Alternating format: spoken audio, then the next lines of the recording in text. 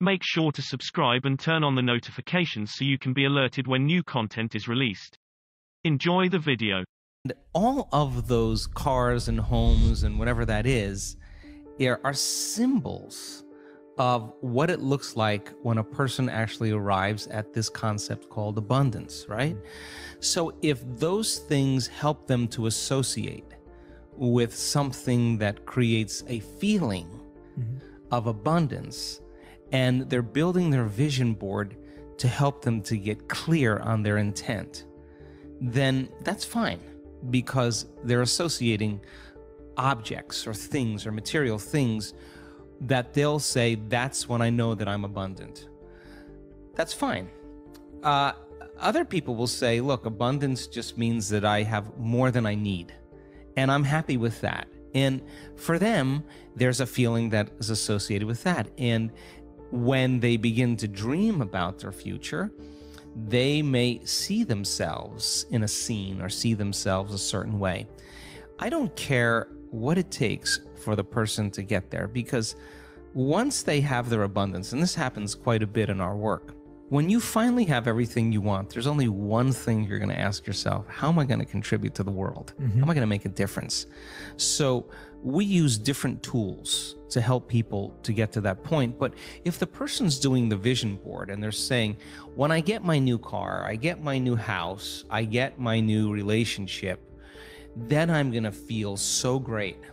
Well, then they're back to the program, waiting for it to happen for them to feel the emotion. They're they're believing their outer world has to change in order for them to feel better. There's there's no effect of drawing the experience to you with that way. So the person has to use those tools to get them into the emotional state for them to feel like it's already happened. Now think about this. If you get up from a creative process and you feel grateful, you feel a love for life, you feel a joy for existence, you feel a passion uh, to for the moment, uh, you will not be looking for your future because you'll feel like it's already happened. It's the moment that we start feeling those self limiting emotions that we feel separation, and then we start looking for it again. Well, then, if you're waiting, you're not creating, you're, you're in separation again. so it, then, yeah. so then, whatever it takes for you to move into a state of being. And what is a state of being? Thoughts are the vocabulary of the brain, feelings are the vocabulary of your body. How you think and how you feel creates your state of being. So then, if you wake up in the morning and you come come back to your senses with a clean slate and you say I don't feel anything and you say well let me start thinking about all the problems in my life. Well all those problems are connected to different people or different objects or things at different times and places. The moment you remember your problems a memory is a record of the past. You're thinking in the past. Every one of those problems has an emotion associated with them. So all of a sudden you start feeling unhappy. You start feeling bitter. You start feeling frustrated. So now your body's in the past.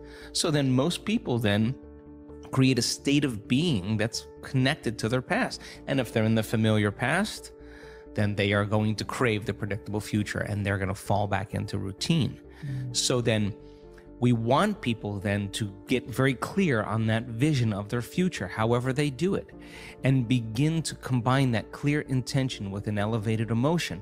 And the stronger the emotion they feel from the vision they're creating, the more altered they feel inside of them, the more they're going to pay attention to the pictures in their mind. And now they're remembering their future. And biologically, it's exactly the same as remembering your past. In fact, if you're not being defined by a vision in the future, it means you're making your past more real than your future. Mm-hmm. You're falling in love with your past. You're more in love with your past than you are with your future.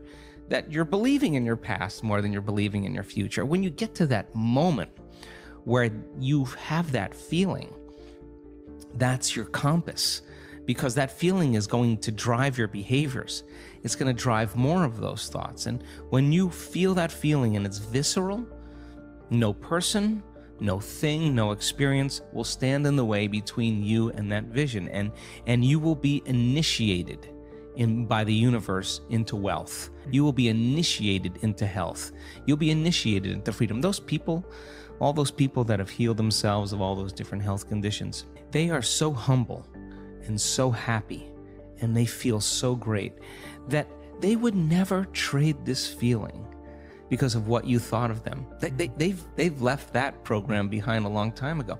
They actually don't care how you think of them. They, they actually are so happy with themselves that they're no longer dependent on anything outside of them. Now, I think that's a really important moment because that's the moment we give people permission in our lives to do the same, right? And I think that more and more people are beginning to figure that out uh, as they do this work.